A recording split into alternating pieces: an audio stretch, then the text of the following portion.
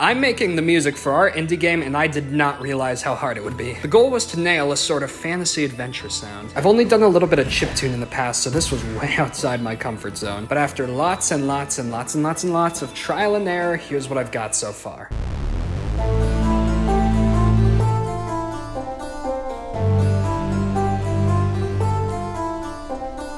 This plays in the opening area of the game as you enter a randomly generated forest and fight monsters while gathering supplies. If you're new to making music, I highly recommend finding a reference track or two to inspire the mood of your song. I used a lute as the lead instrument in the opening before switching to cellos to lead the rest of the song.